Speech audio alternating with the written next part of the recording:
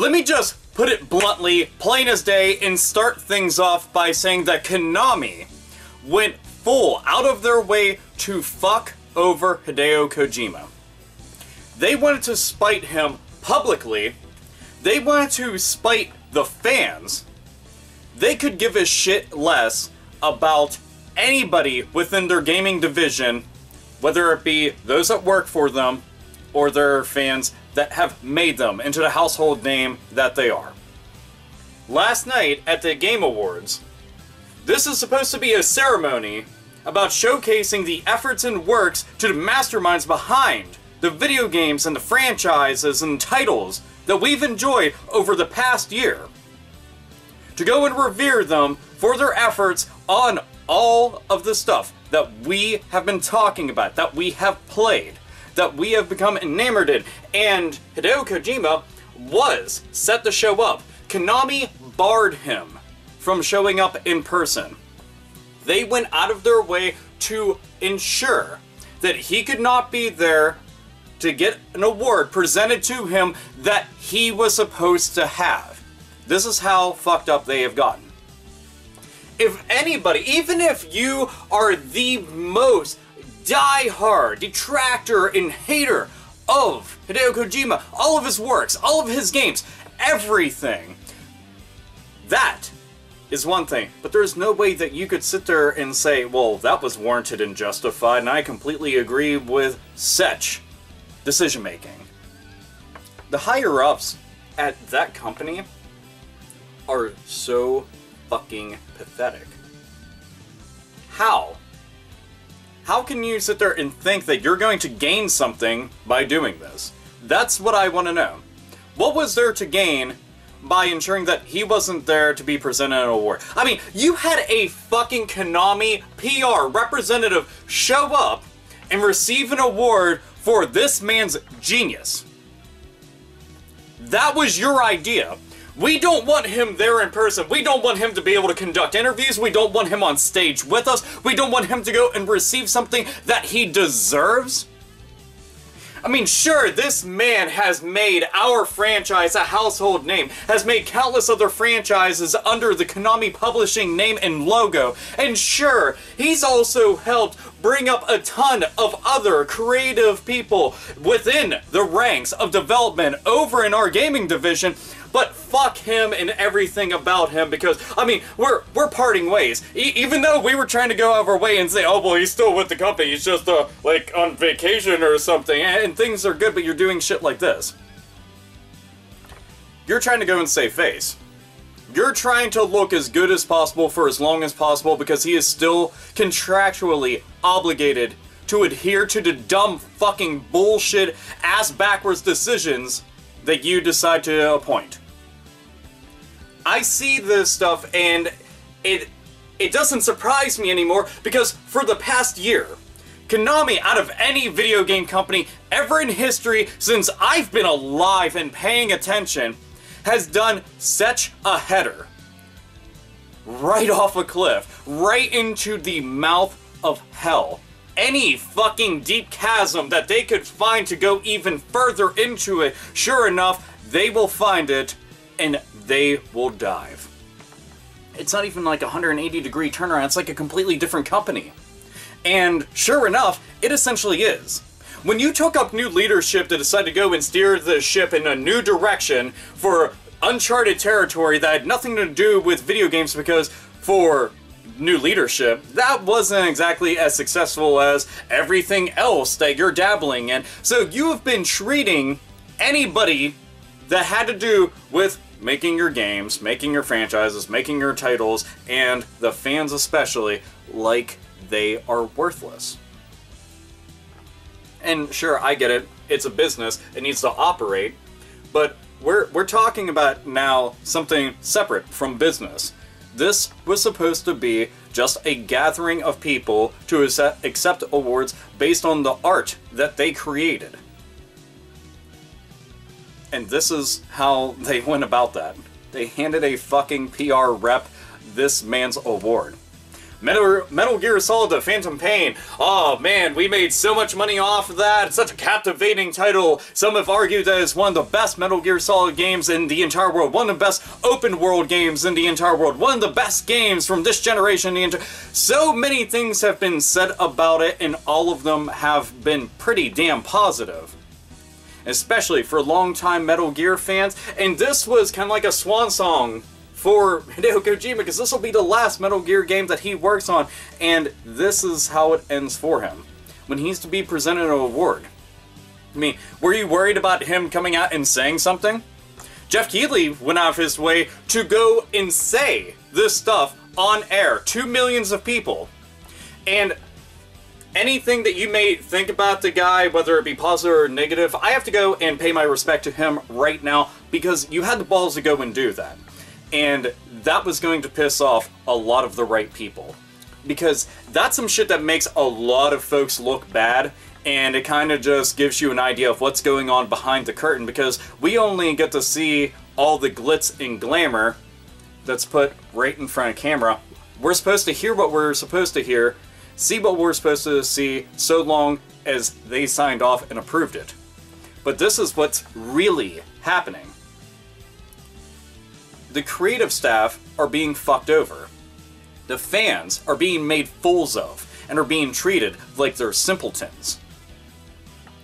Kojima doesn't deserve to be treated like that. Nobody who does as much for any company out there in the entertainment field deserves to be treated like that. Over, what, parting ways? That's it? All, all I want to see at this point is I want, I desperately want Konami to just fucking close up shop at this point.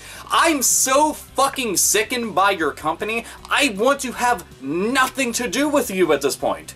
Nothing. The only way I would even change my mind, it wouldn't be due to an apology, it wouldn't be due to a change of how you're going to like, conduct business, no, none of that.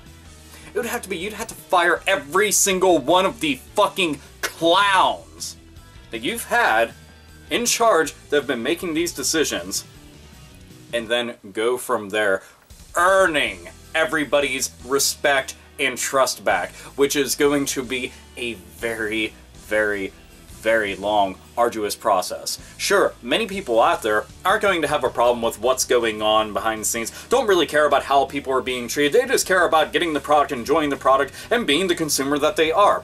I haven't gotten Phantom Pain. I refuse to go and buy any of your games. I don't give a fuck what direction you're going in, I don't give a fuck if you're just going all with mobile, which it seems like you are going to end up doing such a thing. I don't give a fuck about any franchises that you're releasing. I don't care how good they look how fun they are, how much I'm missing out on because I have values, I have morals, I have standards, and I have self-respect, and I also have outpouring respect for those that have made this industry what it is, and you're treating them like shit. You're doing it publicly like a bunch of fucking Nancy Pants pathetic fucking assholes. Your arrogance is is unbridled. It's it's a it's kind of amazing to think that you were so fucking insecure as a company that you didn't want to stand on stage and watch him receive something that he fucking deserved. None of you fucking created it, he did.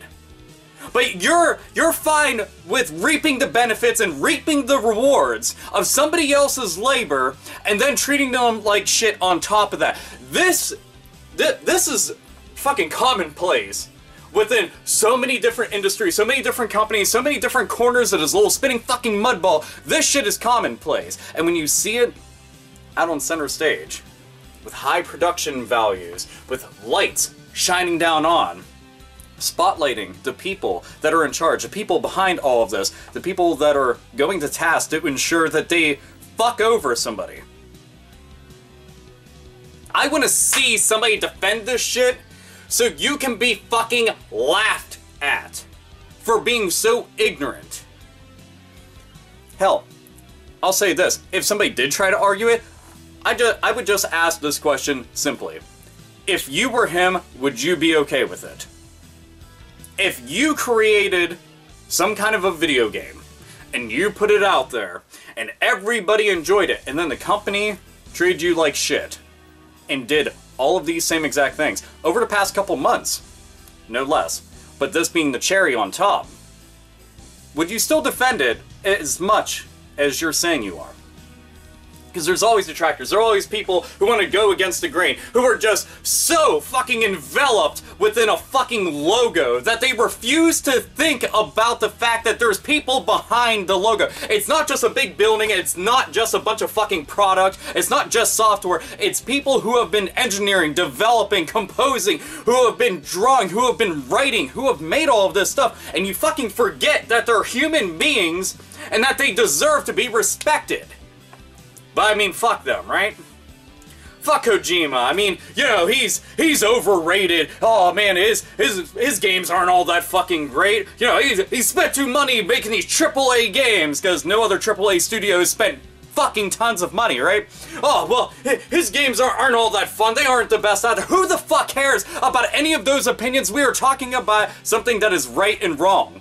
We're, we're talking about a fucking moral dilemma th this is how they're conducting business now front, in, in front of all of you. Fuck Konami. I'm going to spread that around everywhere. Hashtag fuck Konami. Uh, I don't know. Hashtag justice for Kojima. I guess I could go and roll with both of those heavily, and I probably should.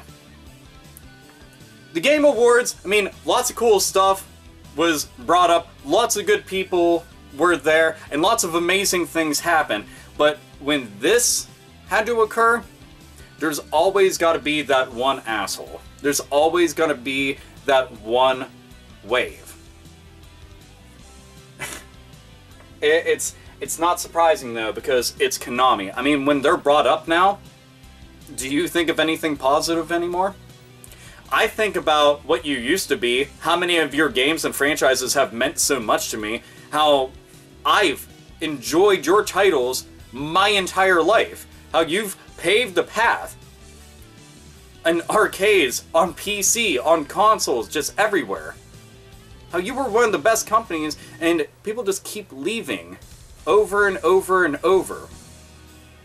And looking back and seeing what the fuck you've done. Other companies can learn to just see your mistakes to avoid making them outright because it's not going to work for you. And it's it, it actually burns my ass even more to think that financially you're doing well. Your shareholders are happy as pigs in shit. Because all of your other little endeavors that you've been so interested in and so invested in, well, they're paying off for you and you're doing well financially. And that kills me the most is seeing people do shitty things and they continue having a great life and smile and sit back in their comfortable chair, not giving a shit about who they had to hurt in the process.